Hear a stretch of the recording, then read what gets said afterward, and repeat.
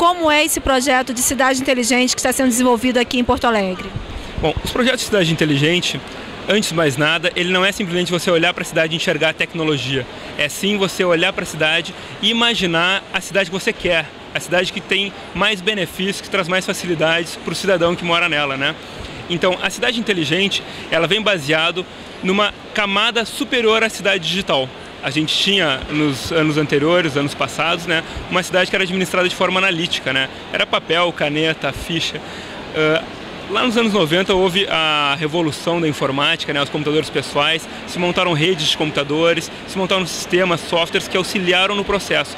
E agora a gente está botando uma terceira camada em cima dessa camada digital, que é justamente uma camada de inteligência, onde a gente põe ferramentas, sensores que auxiliam a organizar a cidade, a melhorar questões de trânsito, de segurança, de saúde. Então aí você tem a tecnologia a serviço do cidadão em cada uma dessas áreas, na saúde, no trânsito, na segurança, né, melhorando a vida das pessoas.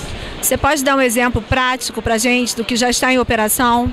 Claro. Nós temos em Porto Alegre uma infovia, que é uma rede de fibras óticas que tem mais de 900 quilômetros enterrados pela cidade e que permite que a gente tenha uma série de ferramentas que auxiliam no processo de gerenciamento da cidade.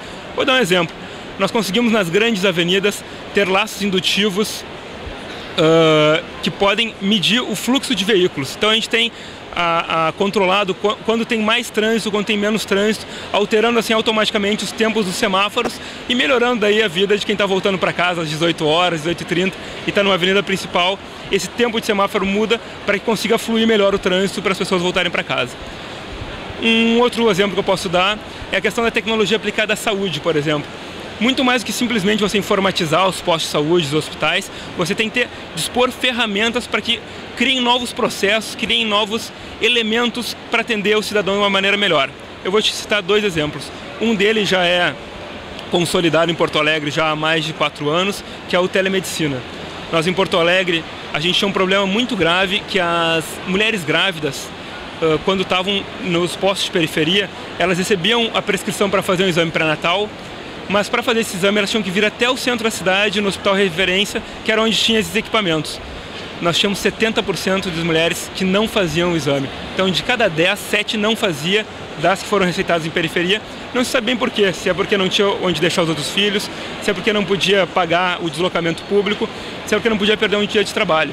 Então nós conseguimos, através dessa rede de fibras óticas, levar o exame de maneira virtual lá para o posto perto da casa dela.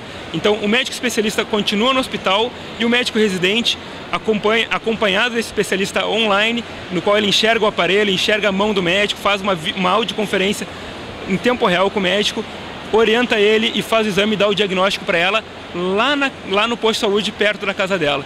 Isso é muito legal, porque além de deixar de ser um incômodo ela fazer esse exame, ela passa a levar o marido, passa a levar a família para quando vai, por exemplo, descobrir o sexo da criança, né? Então familiarizou o exame e nós invertemos o indicador. Agora são só 30% que não fazem exame e a gente está reduzindo cada vez mais esse indicador porque o exame está próximo da, da casa dela. Isso graças à tecnologia. Como é o acesso do cidadão que vive em Porto Alegre ou que visita a cidade, o acesso wireless na cidade? Isso já está disponível? Então, nós temos um projeto muito legal, pioneiro nas cidades brasileiras, que é o Procempa Livre e Gratuito.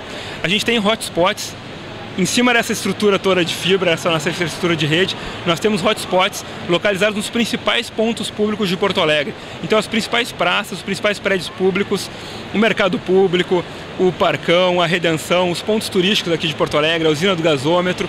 Nós temos um sistema de internet livre e gratuito no qual você não precisa nem se cadastrar.